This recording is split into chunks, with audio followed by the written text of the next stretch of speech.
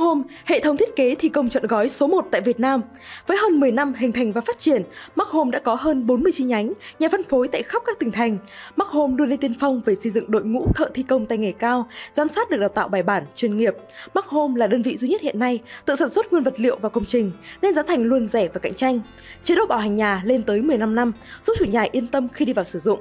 Mark Home, đơn vị duy nhất tại Việt Nam, có các kỹ sư nước ngoài từ Hy Lạp, Italia, Thụy Điển trực tiếp nghiệm thu giám sát công trình.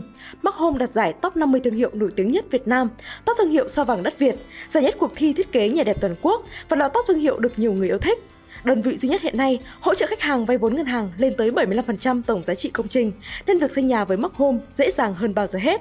Nhanh tay liên hệ Mark Home qua số hotline 096 445 8888 hoặc 0828 133 333. Mark Home, giá trị tạo nên thương hiệu. Xin chào mọi người, tôi là Chubin và hôm nay thì tôi à, đến với Mass Home thì tôi đã lựa chọn được à, cho mình những cái à, đồ nội thất rất là giá phải chăng và nó rất là đẹp à, đặc biệt nữa là nhân viên ở đây thì tư vấn rất là nhiệt tình nên là rất là mong uh, Smart Home sẽ được uh, thành công trong uh, cái uh, bước đường uh, mà Maxon hôm nay khai trương và ngày càng sẽ thành công hơn nữa.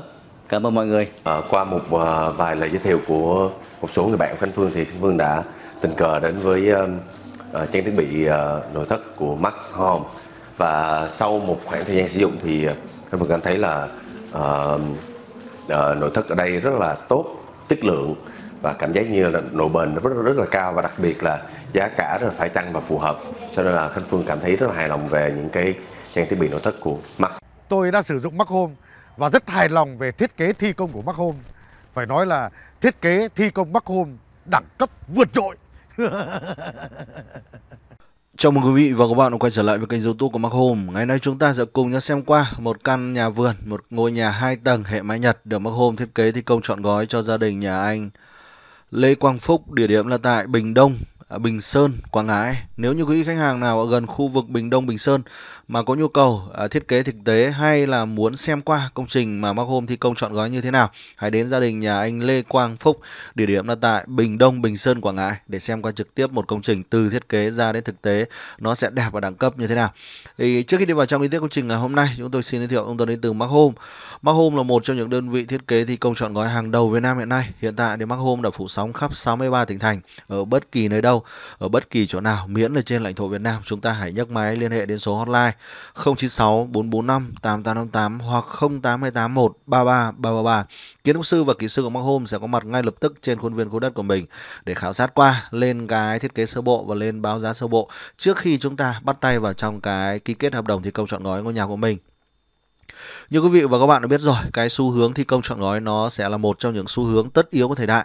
Bởi vì chúng ta nhìn ra các nước phương Tây, người ta đã làm thi công chọn gói cách đây hàng trăm năm rồi. Và tại Việt Nam, tại các thành phố lớn như Hà Nội, như thành phố Hồ Chí Minh, như Sài Gòn, người ta cũng đã làm cách đây hàng vài chục năm. Đến bây giờ thì cái nhu cầu thi công chọn gói nó đang thực sự là nở rộ lên rất nhiều.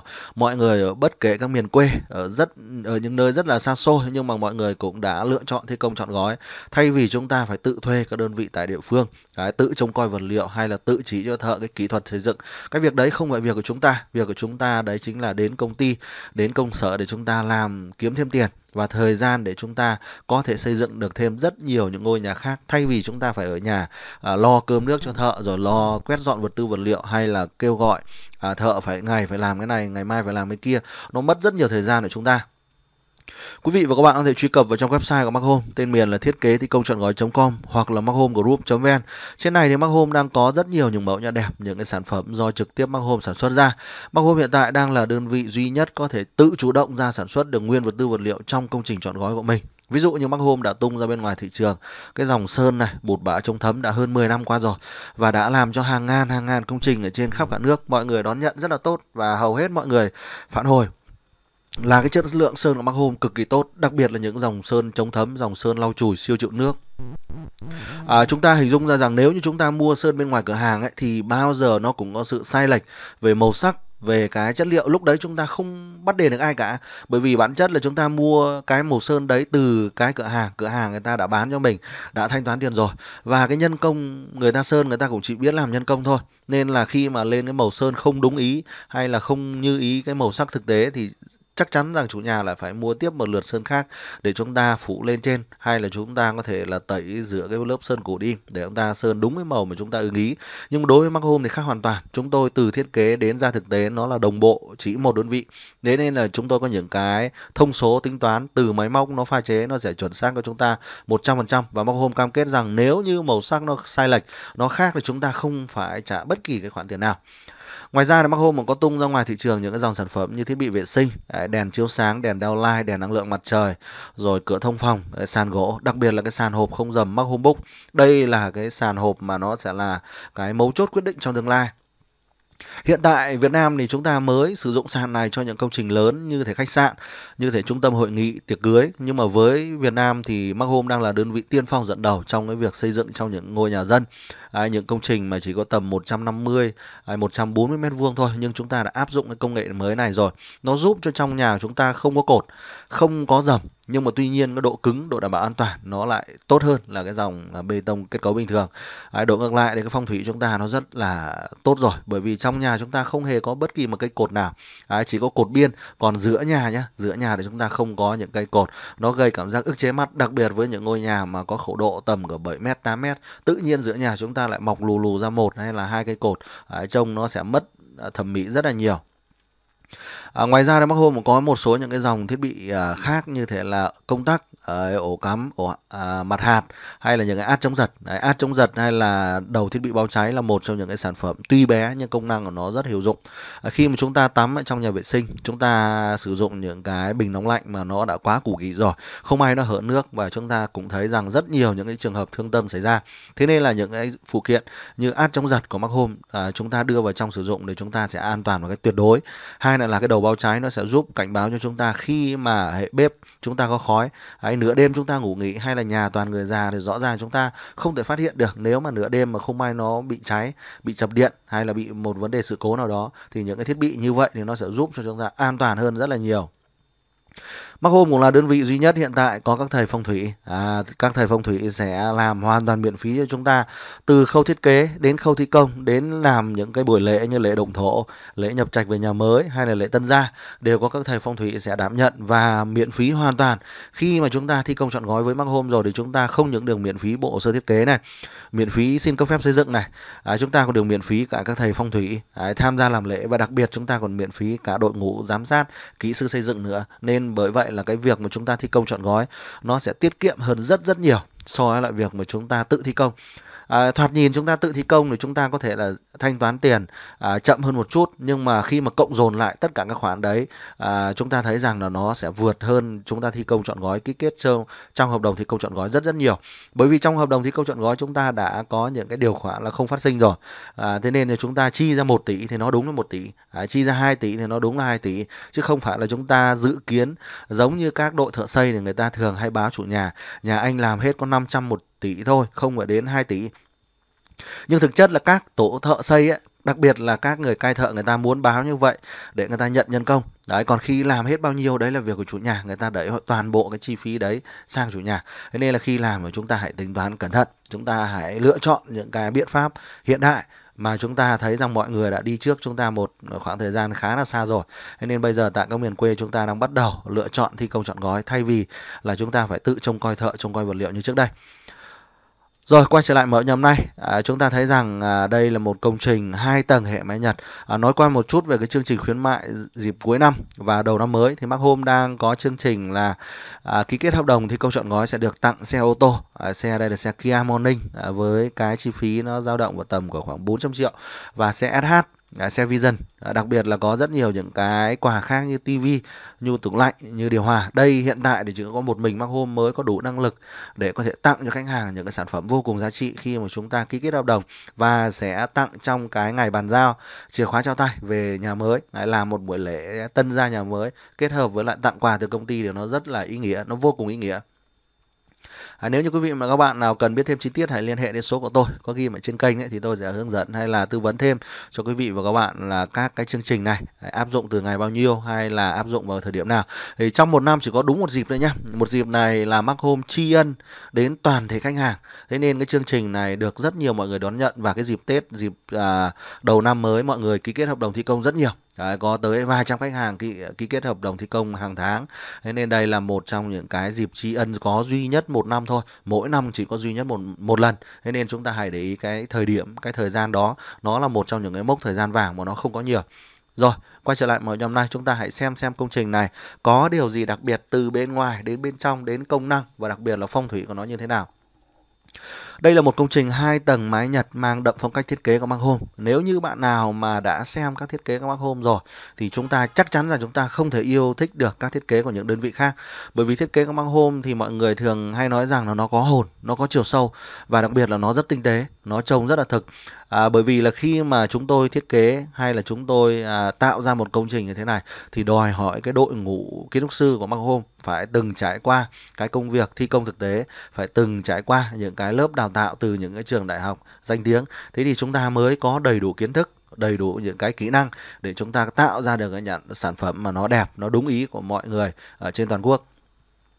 Vậy thì trước khi mà chúng ta đi vào trong một công trình, trước khi chúng ta thiết kế hay chúng ta thi công thì cái việc đầu tiên quý vị các bạn cần phải lưu ý cho tôi, đấy chính là chúng ta phải xác định rõ là chúng ta thích nó phong cách gì. Cái phong cách nó là cái bao trùm tổng thể lên ngôi nhà. Đấy, trong những căn nhà vườn thì chúng ta có ba loại phong cách chủ đạo. Một là phong cách hiện đại, hai là phong cách tân cổ điển và thứ ba là phong cách cổ điển classic.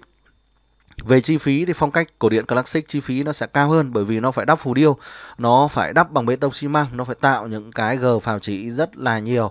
Thế nên là chi phí của nó sẽ cao. À, tiếp tục để chúng ta đến cái phong cách tân cổ điển thì nó sẽ có những cái đầu cột bát cột vẫn còn những cái phào chỉ và cuối cùng là cái phong cách hiện đại như trong ngôi nhà này. Để chúng ta sử dụng phong cách hiện đại là một trong những phong cách tiết kiệm chi phí nhất rồi.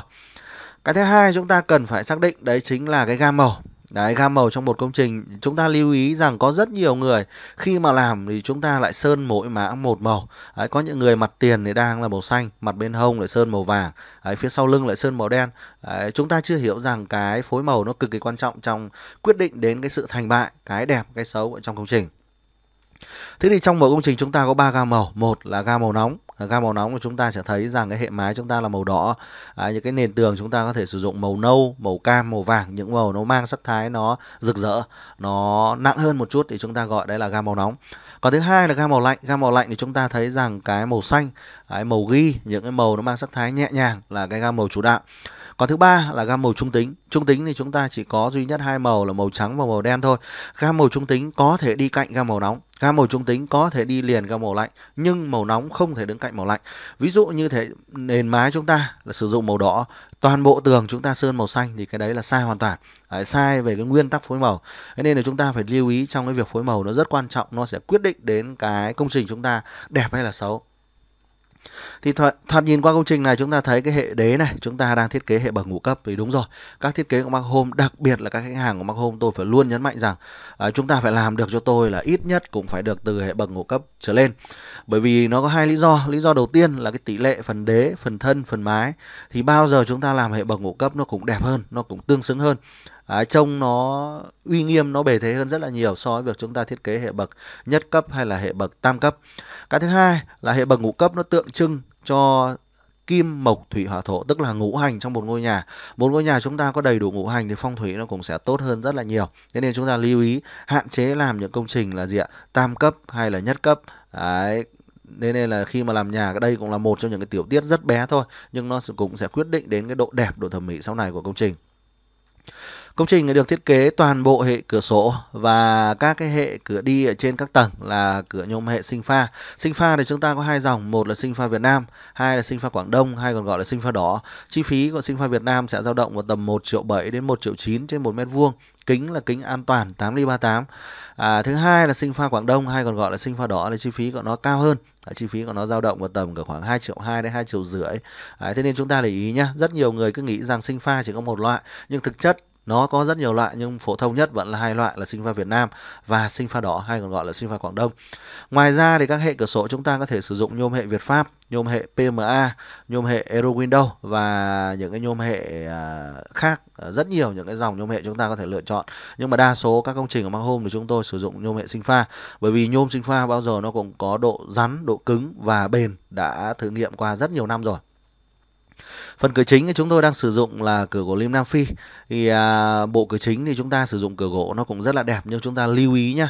Cái chất liệu gỗ này khi mà nó tiếp xúc với lại ánh nắng ngoài trời khi mà nó tiếp xúc với lại cái khí hậu mùa đông ở tại Việt Nam là rất khắc nghiệt Đấy, mùa hè thì rất là nóng và mùa đông thì rất là lạnh thì nó sẽ bị co nở nó co nở thì nó sẽ khiến cho cái bề mặt gỗ chúng ta bị nứt à, bị nứt thì riêng đối với lại gỗ tự nhiên là rất khó để xử lý.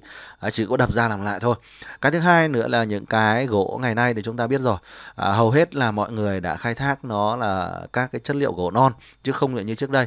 Trước đây chúng ta lên rừng thì chúng ta có thể chặt những cái những cây gỗ nó có cái tuổi thọ hàng trăm năm Đấy, thậm chí vài trăm năm cũng có. Nhưng mà với ngày nay thì cái đấy nó rất là khó. Ngày nay thì chủ yếu là 5 năm 7 năm người ta đã thu hoạch rồi. Thế nên là cái thớ gỗ nó không được rắn chắc như ngày xưa. Bởi vậy mà khi mà đưa vào sử dụng khi mà chúng ta cắt bỏng nó ra à, chúng ta ghép lại thì sau này nó bị à, co ngót nó bị cong vênh rất nhanh. À, toàn bộ phần đế chúng ta đang ốp cái đá này à, cái đá này chi phí của nó nó dao động vào tầm ở khoảng là 300 một mét vuông. À, toàn bộ cái đá kim sa này có đơn giá là tầm 1 triệu 2 một mét vuông. Cái đá à, granite đấy, đá granite hoặc đá kim sa để chúng ta hay sử dụng nó để làm những cái phần sảnh chính và sảnh phụ. Tường và các cái phần chi tiết ở trên tường thì chúng ta đã sử dụng sơn của Mark Home rồi. À, cái đơn giá sơn Mark Home của quý vị các bạn có thể truy cập vào trong website của Mark Home để xem. À, chắc chắn là nó rẻ hơn chúng ta mua bên ngoài rất là nhiều và trông nó cũng rất là đẹp còn đây là cái cổng hàng rào. Cổng hàng rào, quý vị các bạn để ý rằng chúng ta phải lưu ý cho tôi một cái quy tắc.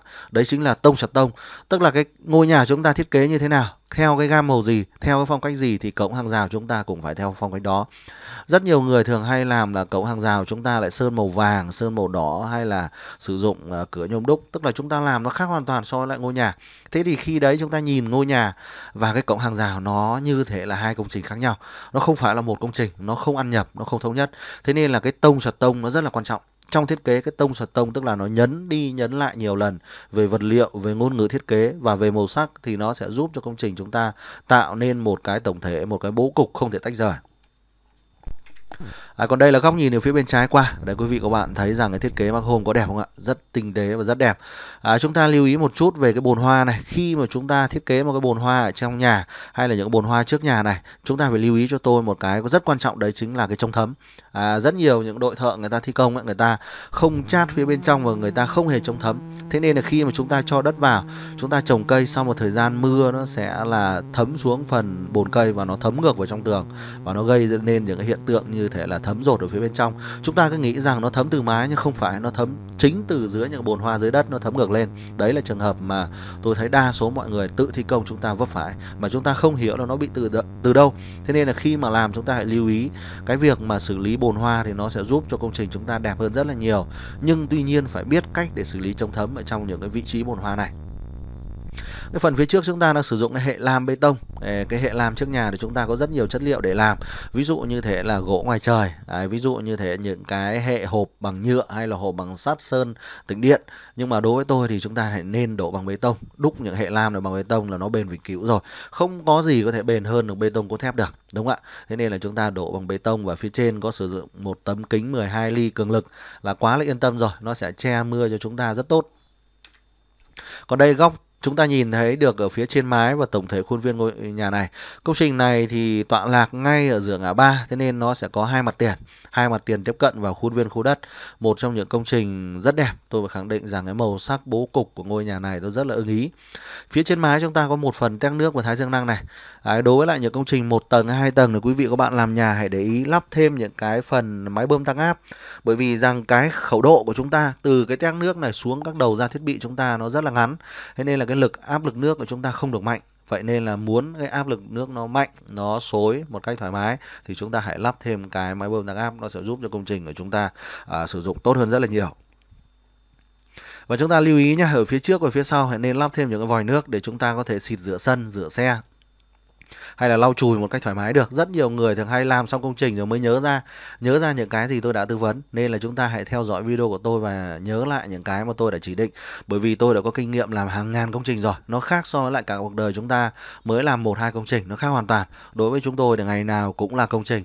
Mỗi ngày tiếp cận với lại hàng vài chục, thậm chí là vài trăm công trình ngày nào cũng như ngày nào. Thế nên là cái kinh nghiệm đụng đến đâu chúng tôi biết đến đó. Những cái thông số, kích thước, những cái chủng loại vật tư vật liệu của chúng tôi khá là thành thạo rồi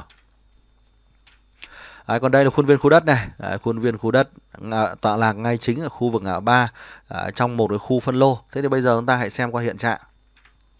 Xem qua hiện trạng của nhà này. à, Công trình này của gia đình nhà anh Phúc địa điểm là tại Bình Sơn Quảng Ngãi nhá. Quý vị các bạn lưu ý rằng là chúng ta đang ở tại khu vực Bình Sơn Quảng Ngãi. Còn đây là anh Phúc, à, đây là khuôn viên khu đất, một trong những khu phân lô. Đấy, đây là tổng thể khu đất đây nằm ngay ở khu vực ngã ba à, sau này ra cũng rất là đẹp. Công trình của Mark Hôm mà đặt ở đây thì khẳng định quý vị và các bạn rằng xung quanh đây cũng sẽ đặt đăng ký của Mark Hôm hết. Bởi vì rằng là khi mà làm xong ấy thì à, mọi người xung quanh mới thấy rằng à thi công chọn gói không ngờ nó lại rẻ như vậy. Nó lại nhanh đến như vậy. Còn khi mà chúng ta thuê thợ thì dĩ nhiên đội thợ ở quê thì người ta sẽ nhận tầm cỡ 8 đến 10 công trình trong một năm. Nên là cứ mỗi lần làm xong cái móng họ lại nghỉ hai một hai tháng quay lại lại gặt mùa lại nghỉ một hai tuần. Xong lại đám ma rồi đám cưới rồi rất nhiều những cái công việc mà chúng ta là khách hàng chúng ta cảm giác rất là ức chế. Còn khi làm chọn gói ờ, tôi khẳng định với quý vị và các bạn rằng là một tổ đội của chúng tôi chỉ làm một công trình và từ lúc phần móng đến lúc bàn giao cất nóc là chúng tôi chỉ có một tổ thợ thôi. Thế nên là nó giúp ờ, chúng ta tiết kiệm thời gian hoàn thiện rất là nhanh và nên là nó giúp cho chúng ta được rất nhiều cái thời gian chi phí. À, còn đây là khuôn viên ở khu đất ở phía dưới chúng ta xa xa là một số công trình. À, dĩ nhiên là những công trình này nhìn qua là chúng ta biết rằng nó không có thiết kế rồi. À, nên là gia đình anh Phúc chỉ cần xây xong là chắc chắn toàn bộ mọi người đang có ý định xây nhà sẽ gặp và ký kết hợp đồng với Mark Home. Đây những ngôi nhà quý vị các bạn thấy này. Đấy, nhìn qua một cái chúng ta biết được là công trình nào có thiết kế, công trình nào không có thiết kế. Những công trình không có thiết kế tôi thấy nó có những cái chúng ta tự phát, chúng ta tự nghĩ, chúng ta tự nghĩ nó là rẻ là đẹp. Nhưng thực ra thi công xong chúng ta mới thấy rằng là nó không bao giờ đẹp bằng chúng ta có hồ sơ thiết kế được. Đấy, còn đây là khu vực nhà hành chính à, đây là khu dự án người ta đang làm. À, đây là chụp bằng à, flycam. Còn đây là hiện trạng à, thiết kế nội thất ở phía bên trong nhà. Thì chút nữa chúng ta xem qua cái phần mặt bằng công năng thì chúng ta sẽ xem đến cái phần chi tiết nội thất của ngôi nhà này. Trước hết thì tôi sẽ giới thiệu đến quý vị và các bạn một bộ hồ sơ về hồ sơ hạng mục về kiến trúc. Thì đối lại một ngôi nhà chúng ta cần tối thiểu 3 bộ hồ sơ.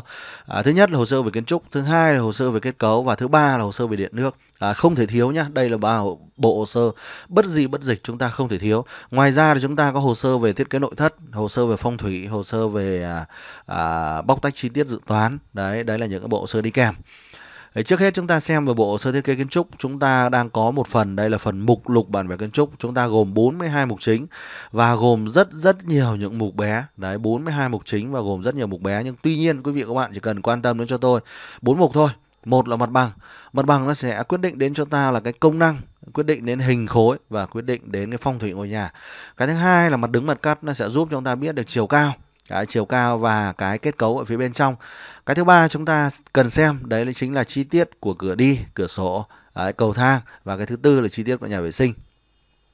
Đấy là bốn cái cực kỳ quan trọng chúng ta phải để ý qua trong cái bộ sơ thiết kế kiến trúc này. Đây là mặt bằng tổng thể. Trên mặt bằng tổng thể chúng ta để ý cho tôi một số những cái ký tự. Đầu tiên là hoa gió. Hoa gió thì luôn thể hiện là hướng bắc quay lên hướng 12 giờ. Kể cả trong những bộ sơ về cấp phép bộ sơ về quy hoạch hay là bộ sơ về thiết kế chúng ta vẫn luôn mặc định là hướng hoa gió là hướng bắc quay là hướng 12 giờ. Còn lại hướng đất sẽ quay theo hướng hoa gió của chúng ta. Cái thứ hai nữa là chúng ta phải để ý một chút đấy chính là những cái mốc tọa độ chỉ giới đường đỏ chỉ giới xây dựng. Đấy, chúng ta mới biết được là khuôn viên khu đất chúng ta được phép xây dựng như thế nào. Đấy, và được phép xây dựng bao nhiêu phần trăm. À, thế nên là chúng ta làm nhà chúng ta lưu ý nhé trước khi làm nhà chúng ta hãy gọi bên địa chính xuống. Cắm lại mốc tọa độ cho chúng tôi. Đấy, cáo lại mốc tọa độ bởi vì khi mà chúng ta gặp những cái gia đình hàng xóm người ta khó tính ấy, kể cả chúng ta sang 1 cm người ta cũng bắt chúng ta đập Đấy, 1 cm vươn sang nhà hàng xóm là người ta cũng bắt đập rồi. Thế nên là trước khi làm nhà chúng ta hãy gọi bên địa chính, bên phường, bên xã xuống xác định lại mốc tọa độ cho tôi và cái thứ hai là phải làm hồ sơ cấp phép.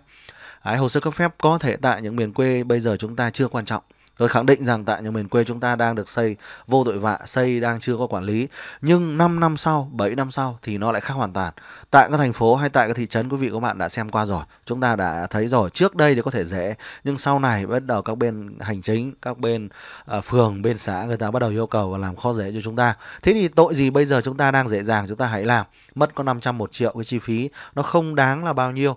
Còn khi làm chọn gói là chúng ta đã có kèm dịch vụ trong đấy rồi. Chúng tôi đã đi làm thay chủ nhà rồi. Thế nên chúng ta ta yên tâm. Đấy, và khi xong rồi chúng ta cất vào két à, cất vào két bìa đỏ cất vào két cái bộ hồ sơ xin cấp phép. Khẳng định với quý vị và các bạn sau này nhà nước có muốn lấn đất có muốn làm dự án có muốn lấy thêm đường thì cũng phải à, đền bù thỏa đáng cho chúng ta. Chứ còn chúng ta xây dựng trên nền đất không có hồ sơ cấp phép xây dựng trên nền đất không có thổ cư thì dĩ nhiên là nhà nước người ta lấy mà người ta không đền bù cho chúng ta với cái giá trị thực mà đền bù với giá trị rất rẻ giá trị đất nông nghiệp. Tiếp tục chúng ta đến cái mặt bằng bát trạch này. Trên mặt bằng bát trạch này chúng ta sẽ biết được gia chủ sinh năm 1955 là Ất Mùi, ờ, cung mệnh là cung mệnh ly, hướng Nam là hướng phục vị, được sự giúp đỡ may mắn, hướng Đông Nam là hướng thiên y, thiên thời che chở, hướng Bắc là hướng phúc đức, mọi sự ổn định. Và hướng đông là hướng sinh khí à, phúc lộc vẹn toàn thu hút tài lộc. Thế thì khi xác định được những cái này rồi thì các thầy phong thủy sẽ tính toán là với ngôi nhà chúng ta sẽ đặt hướng bếp như thế nào quay về đâu hướng ban thờ quay về đâu hướng cửa chính quay như thế nào cầu thang quay ra làm sao Đấy, đấy là những cái công việc mà các thầy phong thủy tính toán rất kỹ lưỡng. Rất nhiều người thường hay gọi điện cho tôi tâm sự nói rằng là gì ạ? Bên anh đã thiết kế hàng nghìn công trình rồi, các anh cứ lắp nhà này sang nhà kia nó nhanh chứ cần gì phải lâu như vậy, nhưng thực chất là không phải. Mỗi một ngôi nhà nó sẽ có một cái phương, cái vị và cái hướng khác nhau. Mỗi một ngôi nhà xây lên sẽ áp dụng với một cái tuổi của gia chủ nó cũng khác nhau và cái sở thích nó cũng khác nhau. Bởi vậy một công trình của chúng ta nó là duy nhất ở trên thế giới này, nó là độc nhất, nó là số 1 và không có một những công trình nào khác. Bởi vì khi mà chúng ta copy một công trình này, chúng ta lắp vào khuôn viên khu đất của mình nó khác hoàn toàn về phương, về vị, về hướng nó sẽ không giúp cho chúng ta được cái gì về phong thủy. Đấy là một công trình nhái lại mà nó không đúng không đúng với lại tuổi của chúng ta. Thế nên chúng ta luôn yên tâm, không có bất kỳ những cái chuyện là chúng ta cóp từ nhà này sang nhà kia, mà toàn bộ những công trình đều phải tính toán dựa trên những yếu tố về công năng, yếu tố về giá tiền và yếu tố về phong thủy rất chặt chẽ với nhau mới ra được một bộ sơ thiết kế. Thế nên một bộ sơ thiết kế của Băng Home sẽ có thời gian làm từ 20 đến 30 ngày. Chúng ta mới ra được một bộ sơ thiết kế chi tiết được. Còn đây là mặt bằng ở dưới tầng 1. Chúng ta nhân qua cho tôi một cái phép tính nhỏ nhỏ thôi. Chiều ngang chúng ta đang là 13 m và chiều sâu chúng ta đang là 7 m 8. À, như vậy diện tích chỗ chúng ta nó dao động vào tầm cỡ 101 m, tôi cứ cho là 100 m vuông đi. À, 100 m vuông thì chúng ta phải phân biệt cho tôi hai cái khái niệm, một là diện tích sử dụng, hai là diện tích xây dựng. Cái này là cái chúng ta rất dễ nhầm. À, đến bây giờ mọi người vẫn không hình dung ra được ngôi nhà của mình là diện tích xây dựng là bao nhiêu và diện tích sử dụng là bao nhiêu. Diện tích sử dụng có nghĩa là diện tích tính ở phía bên trong khuôn viên tường bao. Nó là diện tích mà chúng ta dùng hàng ngày. Còn diện tích xây dựng là diện tích chúng ta phải tính ở trên cái bê tông giọt danh. Tức là cái phần mái của chúng ta này nó đua ra đến đâu, phần sảnh chính, sảnh phụ đua ra đến đâu chúng ta phải cộng vào. Đấy, nó khác hoàn toàn. Thế nên là diện tích xây dựng bao giờ cũng sẽ lớn hơn, Đấy, lớn hơn rất nhiều so với lại diện tích chúng ta uh, sử dụng hàng ngày. À, và trong cái công năng này quý vị các bạn để ý cho tôi chúng ta có hai lối tiếp cận một lối đi vào từ sảnh chính và một lối đi ra sảnh phụ. Đúng rồi một ngôi nhà phải có lối vào và phải có lối ra ngôi nhà phải có chính và ngôi nhà phải có phụ ngôi nhà phải có nam và phải có nữ. Đấy chính là cái ổn thỏa cái phong thủy trong một ngôi nhà. Rất nhiều người thường hay làm ngôi nhà chỉ có đúng một lối vào lối ra những ngôi nhà lô phố hay là những ngôi nhà mà chúng ta lấy lý do rằng nhà chúng ta chặt không có đất. Đấy, đấy là cái chúng ta phải lưu ý là trong ngôi nhà chúng ta muốn điều hòa được không khí, muốn thông được gió thì chúng ta phải có lối vào và có lối ra. Với những ngôi nhà một hướng thì chúng ta có thể đặt lối ra ở phía sau ở phía sau để thế nào cái luồng khí chúng ta nó xuyên qua được ngôi nhà chúng ta thì nó mới không bị tù động. Chứ còn nếu như luồng khí chúng ta chỉ đi vào và nó quây quẩn ở trong nhà lâu ngày nó sẽ sinh ra bệnh tật sinh ra tù túng và sinh ra những cái sự ức chế của những thành viên sử dụng trong nhà. Thế thì khi mà thiết kế những cái phần sảnh chính sảnh phụ quý vị các bạn lưu ý cho tôi hai cái quy tắc trong thiết kế chúng ta phải nhớ. Một là phần sảnh chính bao giờ cũng phải lớn hơn sảnh phụ. Đấy, và sảnh chính luôn quay về hướng đẹp và cái thứ hai là tim ở phần sảnh chính không bao giờ được nằm trên một đường thẳng với tim sảnh phụ. Người ta gọi đây là lỗi đồng trục xuyên tâm một trong những cái lỗi đại kỵ cơ bản nhất ở trong thiết kế. Nếu như chúng ta đứng trước một ngôi nhà mà nhìn thống ra phía sau thấy luôn cái cửa sau và thấy luôn sân vườn thì rõ ràng chúng ta không còn một cái gì để chúng ta khám phá. Và cái nhà như thế gọi là nhà sai về phong thủy nhà gặp lỗi đồng trục xuyên tâm. Lỗi này rất là đại kỵ nó sẽ khiến cho chủ nhà làm rất nhiều tiền đó nhưng không giữ được. Đấy, sau hai ba năm không thể tích góp là cứ mất mát dần mất mát dần để đến lúc mà kiệt quệ về tài chính. Nó cũng giống như cái lỗi là ba cái bậc cầu thang cuối cùng chúng ta chọi thẳng ra ngoài uh, sảnh chính. Ví dụ như trong bộ cửa này chúng ta đặt cái cầu thang ở đây. Đấy, chọi thẳng ra ngoài sảnh chính. Bước vào chúng ta đi lên uh, cầu thang và bước xuống chúng ta đi ra ngoài cửa chính. Đấy cũng là một trong cái lỗi thất thoát về tài lộc rất mạnh. Thế thì trong ngôi nhà này thì chúng ta thiết kế như này là vuông góc như này là quá đẹp rồi. Đấy ngôi nhà của hạnh phúc được chúng ta thiết kế cái phần sảnh chính sảnh phụ như thế này là quá đẹp và quá chính xác rồi. Tiếp tục chúng ta xem qua cái công năng ở ngôi nhà này. À, phòng khách chúng ta rộng 22 m vuông, à, 22,5 m vuông. À, theo tiêu chuẩn thiết kế một phòng khách à, đầy đủ của chúng ta thì diện tích nó sẽ dao động vào tầm 25 đến 30 m vuông. À, thế nên là cái diện tích trong gia đình nhà anh Phúc như thế này là cũng gần gần đạt được cái tiêu chuẩn rồi. Phòng khách này sẽ liên thông khu vực phòng làm việc À, công trình này chúng ta đã có thêm một cái phòng làm việc ở ngay dưới tầng 1 rộng 11,8 m vuông. Gia đình nhà anh Phúc thì có những công việc uh, trên công ty và công việc ở nhà nên là anh rất cần một cái phòng làm việc kết hợp với lại những cái giá đọc sách. Ở phía sau chúng ta có khu vực bếp và phòng ăn. À, bếp phòng ăn rộng 18,5 m vuông, có một phòng ngủ dành cho ông bà à, 19 m vuông và có một nhà vệ sinh chung ở phía sau. Hơi đáng tiếc rằng chúng ta không có phòng vệ sinh khép kín bởi vì khi mà chúng ta chăm người già thì chúng ta biết rồi. À, buổi tối ông bà chúng ta hay dậy đi tiểu đêm nếu như mà chúng ta phải đi ra tận bên ngoài này thì nó khá là xa. Đấy, nó xa mà không may chúng ta đi gặp gió hay là gặp những cái gì đấy trượt chân thì rất dễ bị ngã. Đấy, bởi vì tuổi già người ta à, tuổi cao và đi rất là yếu thế nên chúng ta hãy nên nên thiết kế những cái nhà vệ sinh ở trong nhà. À, và ngày nay thì cái nhà vệ sinh trong nhà chúng ta biết rồi sử dụng những cái trang thiết bị khá là hiện đại nên là nó rất là sạch sẽ. Chứ chúng ta không nghĩ rằng cái nhà vệ sinh như để trước đây à, chúng ta làm như ngày xưa thì rõ ràng là nó sẽ có mùi nó ô uế. Nhưng mà với ngày nay thì các cái căn phòng resort 5 sao hay là những cái khách sạn chúng ta xem có chúng ta đi nghỉ dưỡng chúng ta biết qua rồi. Đấy, nó rất là sạch sẽ rất là bóng bẩy và rất là thơm tho. Nên là chúng ta sử dụng cái nhà vệ sinh khép kín nó là một trong những cái lợi thế đặc biệt tốt với lại người già.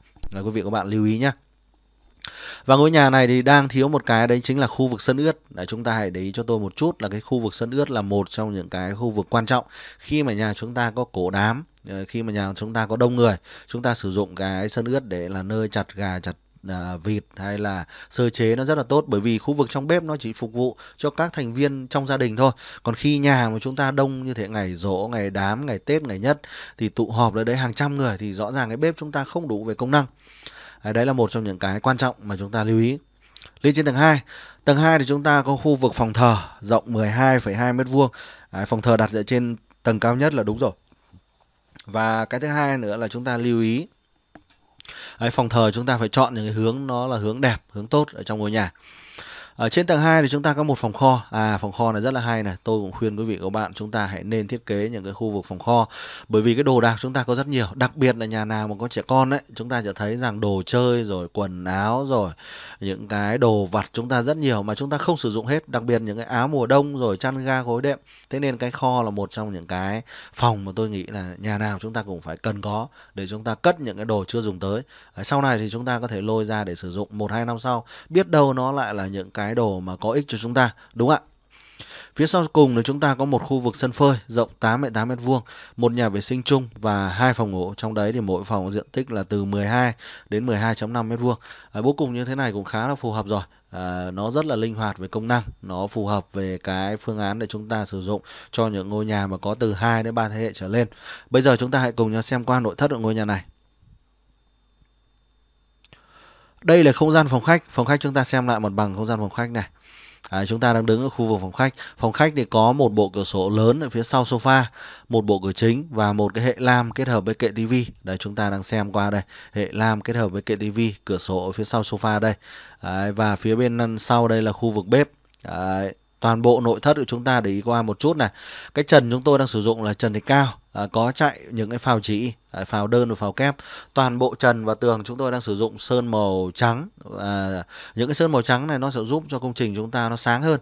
Chứ chúng ta đừng nên ham là sơn màu xanh màu vàng màu tím lên trên trần nhà. Rất nhiều người thường hay nghĩ rằng là sơn màu trắng là nhà mình chưa sơn. Đấy những đặc biệt là ông cụ bà già của chúng ta luôn luôn cái quan niệm là nhà phải có màu. Đấy, màu là phải sơn màu đỏ màu hồng màu cam nhưng thực ra không phải. Ngày nay thì chúng ta hiện đại rất là nhiều rồi. Ngày nay chúng ta nên sử dụng gam màu trắng thì khi mà chúng ta làm gam màu trắng ấy, thì những cái đồ vật chúng ta mới nổi bật lên được. Chứ còn nếu như chúng ta sử dụng mỗi một bức tường mỗi một cái trần là một màu thì tự nhiên nó sẽ đá với lại màu đồ đạc mà trông ngôi nhà của chúng ta nó sẽ rất là lộn xộn. Nên quý vị các bạn lưu ý nhá thiết kế như thế này nếu nó sẽ rất là tinh tế rồi. Cái thứ hai nữa là nền sàn chúng tôi đang sử dụng là gạch 80 x 80 Đấy, gạch bright hoặc là Vigracera à, chất men à, ceramic à, chống uh, rất là bóng và thoáng mát. Đây chúng ta hãy lưu ý qua. Đến đến góc phía sau đây là phòng làm việc. Đây có kết hợp một số những cái kệ để sách có thể kết hợp thêm cái phòng à, học cho con cái. À, và lối lên cầu thang một phòng dành cho ông bà đặt ở phía dưới và khu vực đèn chùm. Còn đây là trong phòng bếp. Bếp của chúng ta đang sử dụng à, chất liệu là gỗ tự nhiên. À, gỗ tự nhiên quý vị các bạn có thể sử dụng là gỗ sồi gỗ tần bì hay là gỗ mít ngày xưa cũng được và phun sơn theo màu mà chúng ta thích. À, đây là góc khác ở khu vực bếp. Còn đây là trong phòng ngủ chính của chúng ta à, trên tầng 2 đây là khu vực phòng thờ trên tầng 2. Phòng thờ thì chúng ta có xử lý những cái hệ vách CNC bằng chất liệu gỗ công nghiệp. Cái hệ bàn thờ chúng ta cũng thiết kế nó khá là đơn giản nhưng mà nó trông vẫn rất là ấm cúng. Tôi rất thích những cái phong cách bàn thờ như thế này. Không cần phải đục đẽo hoa văn, không cần phải to quá nhưng chúng ta phải đủ dùng. À, như thế này là khá là phù hợp rồi. Một trong những phòng thờ trang nghiêm hiện đại mà nó đầy đủ công năng cho chúng ta. À, còn đây là phòng ngủ ở trên tầng 2 theo cái gam màu trắng Đấy, phòng làm việc à, bàn học của, của các bé đặt ở trên tầng 2 đây. Ở dưới tầng 1 đây là không gian bàn làm việc cũng như thể kết hợp với bàn học. à, còn đây là phòng của bé trai. Còn đây là trong nhà vệ sinh. à, nhà vệ sinh để sử dụng toàn bộ các cái thiết bị à, vệ sinh của Mark Home. à, như thế bồn à, treo này, rồi là các cái vòi à, xịt rồi là vòi sen tắm hay là lavabo hay là gương tất cả đều sử dụng ở Mark Home. Rồi bây giờ chúng ta hãy cùng nhau xem qua tiếp cái phần chiều cao mặt đứng của ngôi nhà này. Chiều cao ngôi nhà của chúng ta đang từ đỉnh mái nó cốt 00 đang là à, hơn 10 mét. Đây chúng ta thấy cái chiều cao cốt của chúng ta là 75 chiều cao thông thủy ở dưới tầng 1 là 39 ở trên tầng 2 là 36 và ở trên tầng mái là 27 quý vị các bạn có nhận thấy một cái điều gì đặc biệt không ạ? Đấy là những kích thước thông thủy là những con số chia hết cho 3 đúng không ạ? 39 chia hết cho 3 đấy, 36 cũng chia hết cho 3 và 27 chúng ta cũng chia hết cho 3 thế thì trong cái kích thước thông thủy chúng ta lựa chọn quý vị các bạn hãy nên lựa chọn những con số chia hết cho ba. Nó là những con số đẹp và những con số liên quan đến tỷ lệ vàng trong một ngôi nhà. Rất nhiều người chúng ta lựa chọn những con số lẻ ví dụ như 3m75 rồi 4m1 4m12 Đấy, chúng ta chọn những con số lẻ chúng ta chưa được học qua về những cái tỷ lệ vàng. Nếu như quý vị không tin quý vị các bạn hãy để ý con người chúng ta cũng là một trong những cái tỷ lệ vàng. Bàn ghế đồ đạc Đấy, tất cả những cái đồ nó liên quan đến chiều cao, chiều dài, chiều rộng mà con người chúng ta sử dụng nó cũng là những con số nó liên quan mật thiết đến tỷ lệ vàng của chúng ta. À, xem qua phần mặt đứng bên và đặc biệt chúng tôi sẽ xem qua phần mặt cắt. À, đối với lại những người mà trong nghề chúng tôi thì xem qua phần mặt cắt sẽ hình dung ra được toàn bộ cấu tạo của ngôi nhà. Đấy, bởi vì mặt đứng thì chúng ta chỉ xem qua được những cái phào chỉ bên ngoài thôi. Còn mặt cắt nó giống như việc chúng ta bổ một trái mít chúng ta bổ ngang bổ dọc trái mít. Đấy chúng ta sẽ biết được là à trái mít này có ngon hay không có nhiều sơ hay không múi của nó có dày hay không. Thế thì trong cái phần mặt cắt này chúng ta để ý cho tôi là những cái phần đổ bê tông ở đây thì nó sẽ được thể hiện lên là cái nét hách đen. Đấy, thế thì trong bản vẽ mặt cắt nó có ba dạng nét. Một là nét hách đen, hai là nét liền. Nét liền chính là những cái nét của cột, đấy, của trần đây những cái chi tiết của tường. Đấy chúng ta gọi là nét liền hay còn gọi là nét liền thấy. Thứ hai là nét đất nét đất hay còn gọi là nét khuất là những cái chi tiết nó nằm ở phía sau cái bản mặt cắt của chúng ta. Đấy, và nó đã được che đi rồi chúng ta không thấy nhưng nó vẫn có nó vẫn hiện hữu thì chúng ta sẽ thể hiện nó là nét đất. Đấy, thì quý vị các bạn này xem qua những cái bản vẽ của bác hôm thì chúng ta sẽ biết được cái cách đọc bản vẽ. Và những vị trí chúng ta phải hạ cốt sàn ví dụ như ban công sân chơi sấn ướt nhà vệ sinh. À, rất nhiều người thường hay nghe các đội thợ người ta làm người ta làm xong bắt đầu người ta không hạ cốt sàn người ta ghép cốt pha phẳng lì một mặt sàn. Đấy sau đấy thì người ta làm cho nó nhanh và người ta làm tranh cốt phía sau so với lại nền phía trước chỉ là một phân gạch. À, làm như vậy thì nó rất là khó khi mà trời mưa trời bão mà bị nước nó tạt nó hắt vào ban công thì rõ ràng chúng ta thấy rằng nó sẽ bị chảy ngược vào trong nhà. Đấy, bởi vậy để mà chính xác quý vị các bạn hãy lưu ý nhé ghép cốt pha chúng ta hãy hạ cốt sàn những cái vị trí quan trọng như thể ban công đấy, sân ướt hay là nhà vệ sinh để chúng ta đánh dốc thoát nước được. Xem qua tiếp tục đấy chính là cái mặt lát sàn. Đấy, mặt lát sàn của chúng ta nó sẽ giúp cho chúng ta tiết kiệm được gạch rất nhiều. À, hầu hết rằng mọi người cứ hay nghĩ là chúng ta đi mua gạch về cho nhân công lát đấy chính là tiết kiệm nhất rồi nhưng không hiểu rằng nhân công người ta chỉ biết làm nhân công. Người ta không biết tính toán là cái viên gạch đấy cắt như thế nào tận dụng vào vị trí nào để nó khớp với cái hoa văn. Đấy, bởi vì cái hoa văn, những cái họa tiết ở trên gạch nó là khác nhau và chúng ta ghép mà nó lệch đi một cái thì trông nó sẽ rất là xấu. Và đưa cho thợ thì rõ ràng người ta cắt một viên thì cắt một chút người ta cũng bỏ đi. Đấy, cắt một nửa cắt một phần hai cắt ba phần tư người ta cũng bỏ đi nên là nó tốn kém chủ nhà rất nhiều. À, nếu như gặp những đội thợ nào nó ghét chủ nhà thì nó tiêu vật liệu của chúng ta càng về sau càng tiêu tốn kinh khủng. Thế nên chúng ta hãy lưu ý những cái vấn đề như vậy. Tiếp tục chúng ta xem đến những cái chi tiết về cửa chính và cửa đi. Chi tiết này nó liên quan đến kích thước lỗ ban. Muốn xem được kích thước lỗ ban thì quý vị các bạn hãy vào trong cái website của bác Home, vào trong mục thước lỗ ban này. À, trên mục thước lỗ ban này chúng ta sẽ có những cái bảng thước À, những cái thước à, chúng ta sẽ có ba loại thước riêng biệt sẽ chuyên đo về những cái vật dụng đồ dùng nó khác nhau. Đầu tiên là thước lộ ban 52.2 là thước lộ ban khoảng thông thủy chuyên đo về cửa chính, cửa đi, cửa sổ.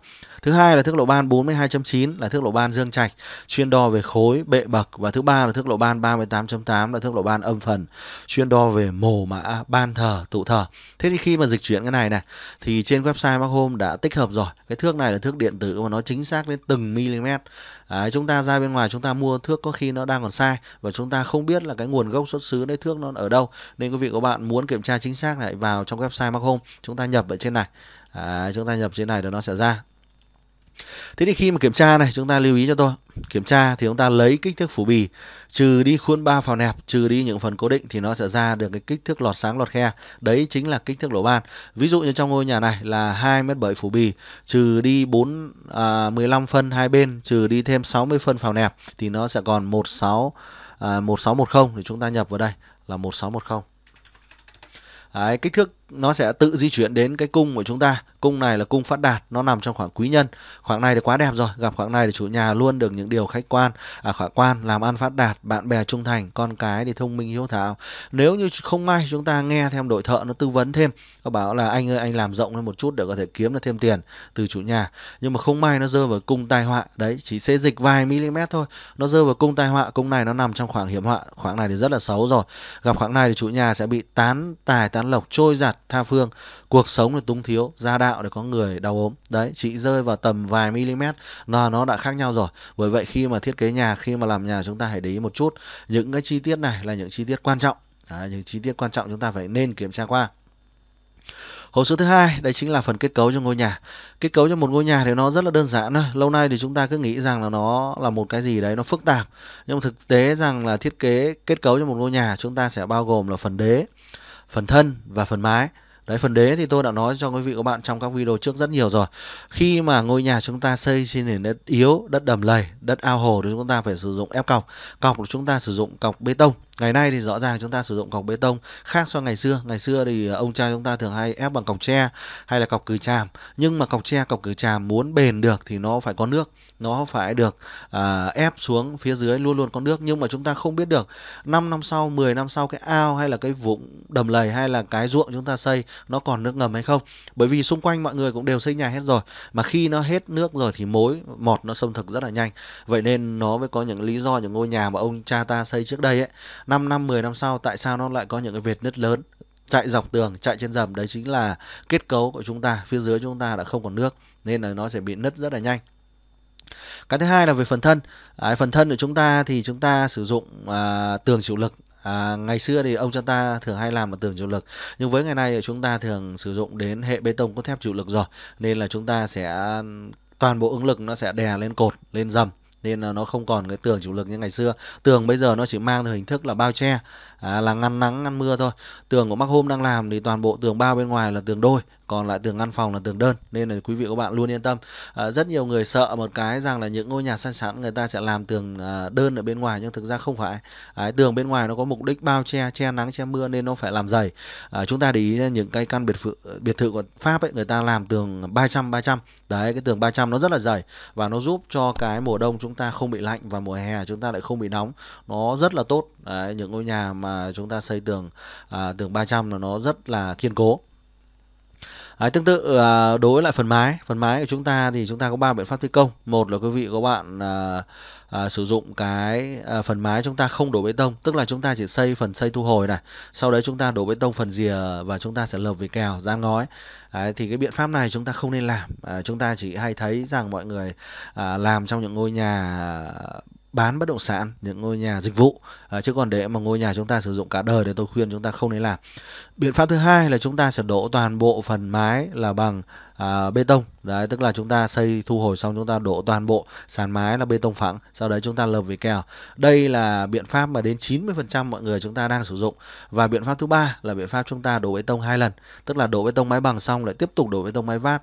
Thì cái chi phí này nó sẽ rất là tốn kém bởi vì một mét bê tông mái vát nó sẽ tốn bằng 1,5 lần mét bê tông mái bằng. Thế nên là chúng ta lưu ý rằng những biện pháp thi công nó cũng sẽ liên quan đến giá thành nó liên quan đến tầm tiền của chúng ta. Thế thì trong kết cấu này của Mark Home để thể hiện rất rõ ràng như gia đình nhà anh Phúc này đang sử dụng hệ móng băng, à, hệ móng băng của chúng ta Đấy, và xây dựng với cái hệ móng rất là kiên cố. Đấy sắt thép chúng ta thể hiện dần rất là rõ ràng. Đa số những đơn vị thi công chọn gói người ta sẽ không đưa những cái bản vẽ chi tiết này cho chủ nhà. Bởi vì phần kết cấu phần sắt thép phần bê tông là cái phần họ có thể ăn bớt được. À, nhưng mà với mắc hôm này khác hoàn toàn. Tất cả những chi tiết chúng tôi đều có bóc tách đều có chú thích và đều có diện giải lên rất rõ ràng và cụ thể tất cả những cây cột, cái dầm, cái tường, vị trí kể cả bể phốt, bể nước, âm ở dưới tường, âm ở dưới đất chúng tôi cũng có bản vẽ chi tiết. Thế nên là nó giúp cho chủ nhà là gì ạ? Không lo thất thoát. Đặc biệt là có những cái bản thống kê sắt thép như thế này. Đấy, bạn thống kê sắt thép này nó giúp cho chủ nhà không mất dù là một cm thép nào. Sau khi chúng ta ghép thép xong sẽ sẽ đi kiểm tra. Đấy, có ban à, giám sát, ban thanh tra sẽ đi kiểm tra sắt thép xem đạt đúng hay chưa, vẽ đúng hay chưa, thi công đạt yêu cầu hay chưa. Để sau đấy mới cho đổ bê tông. Trước khi đổ bê tông sẽ lấy độ sụt đó, kiểm tra mác bê tông có đạt đúng hay không thì mới đổ. Thế nên là tất cả các khâu giai đoạn của mác hôm được kiểm tra qua rất nhiều những cái chu kỳ. Nó giúp cho công trình của chúng ta bền bỉ, không gặp rủi ro. Đấy, còn rất nhiều người là bỏ hết tiền của ra làm một ngôi nhà, làm xong không may nó bị nứt, không may nó bị lún, chúng ta mất toàn bộ tài sản. Đấy, nên là xây dựng chọn gói nó là một trong hình thức nó giúp cho chúng ta tiết kiệm được tiền. Thứ hai là giúp cho chúng ta tránh được những rủi ro rất là tốt. Đấy, còn phần thứ ba đấy chính là hồ sơ điện nước. Thì hồ sơ điện nước cho một ngôi nhà thì nó sẽ thể hiện ra rất rõ ràng. Đấy, đâu là quạt, đâu là ổ cắm, đâu là công tắc để sau này thợ điện nước đi đúng như vậy. À, với ngày nay thì chúng ta lưu ý rằng điện nước nó không như ngày xưa. Ngày xưa thì chúng ta sẽ đấu nối toàn bộ qua cầu giao, qua cầu trì và vào trong nhà. Nhưng với ngày nay thì chúng ta đã chia nó ra làm từng lộ, chia nó ra làm từng khu vực khác nhau. Mỗi một khu vực sẽ có những cái át riêng Đấy, sẽ có những cái công tác riêng để quản lý. Nên là khi mà chập cháy một khu vực thì nó sẽ tự ngắt nó sẽ bảo vệ cho chúng ta những khu vực còn lại. Nên là nó rất là tốt. À, ngày nay thì tôi thấy rằng các thiết bị điện của chúng ta rất là hiện đại và cái cách chia chúng ta nó cũng sẽ hợp lý. Những đường dây nào chuyên đi về hệ bóng chiếu sáng thì chúng ta sử dụng dây bé. Còn những đường nào chúng ta sử dụng cho điều hòa cho tủ lạnh cho lò vi sóng cho bếp từ là phải dụng dây rất là lớn thế nên nó sẽ giúp cho chúng ta vừa phù hợp về tải trọng, về công suất mà cũng rất là an toàn, tiết kiệm điện cho chúng ta. Rồi, video ngày hôm nay thì tôi đã vừa giới thiệu đến quý vị và các bạn một mẫu nhà rất đẹp được Mark Home thiết kế cho gia đình nhà anh Phúc. Địa điểm là tại Quảng Ngãi. Anh Phúc cũng là một trong những fan hâm mộ của Mark Home, theo dõi Mark Home cũng 4 5 năm rồi. Và đến năm nay thì gia đình anh Phúc mới liên hệ đến Mark Home để thi công chọn gói cho gia đình nhà mình ở tại khu vực Quảng Ngãi. Nếu như quý vị và các bạn nào có nhu cầu thiết kế thi công chọn gói hãy liên hệ đến số của Mark Home. Tôi có ghi ở trên kênh 096 445 8888 hoặc 0828 13333. Ngoài ra chúng ta có thể truy cập vào trong Facebook của Mark Home. Tên miền là công ty cổ phần thiết kế kiến trúc và xây dựng Mark Home. Chúng ta lưu ý nhé, gõ đúng tên này, công ty cổ phần kiến trúc và xây dựng Mark Home. Mark Home thì chỉ có đúng một cái đường link Facebook này thôi. Trên này thì Mark Home cũng có up rất nhiều những mẫu nhà đẹp, những công trình đẹp để chúng ta tham khảo, để chúng ta lưu ý qua. Đấy, rất nhiều những mẫu nhà đẹp. Rồi, video ngày hôm nay thì tôi xin phép tạm dừng tại đây thôi. Xin cảm ơn quý vị và các bạn đã quan tâm theo dõi. Xin chào và hẹn gặp lại quý vị và các bạn trong những video lần sau.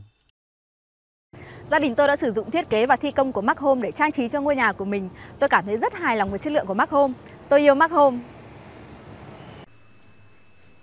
Tôi đã từng sử dụng thiết kế và thi công của Mark Home. Tôi rất yên tâm và hài lòng từ kiểu dáng thiết kế cho đến chất lượng thi công. Tôi yêu Mark Home.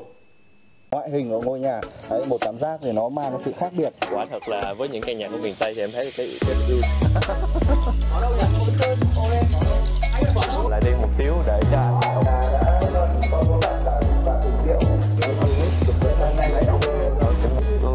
cái ra anh rồi nhìn mày